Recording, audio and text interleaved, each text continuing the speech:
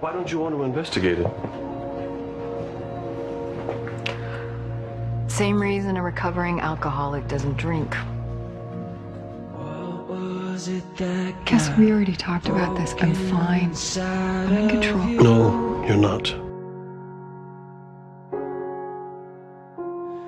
I sent you off searching down empty Her death is part of you. But it doesn't have to limit you.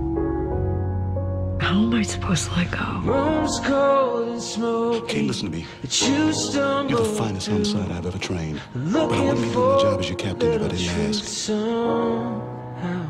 Can you handle this? I hope I'm sorry, sir. I can't. now. It's because you're afraid, isn't it? I hope You're afraid that if you look into your mother's death, that you will go back down that rabbit hole and lose yourself again.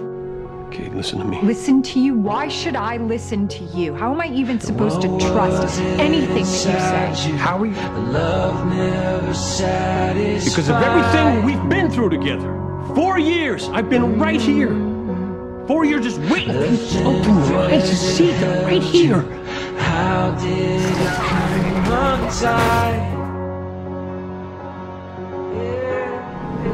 You have no idea what I'm capable of or how far I've looked. I am done being afraid. It's your turn now.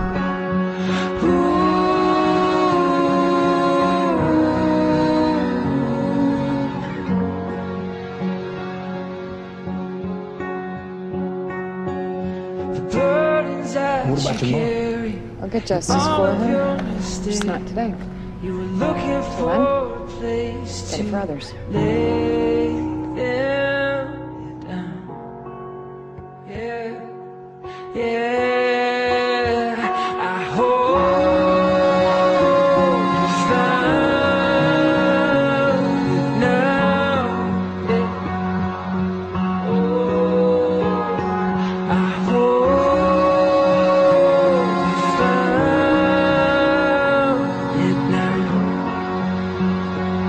First three years on the force, every off-duty moment was spent looking for something someone missed. It took me a year of therapy to realize if I didn't let it go, it was going to destroy me.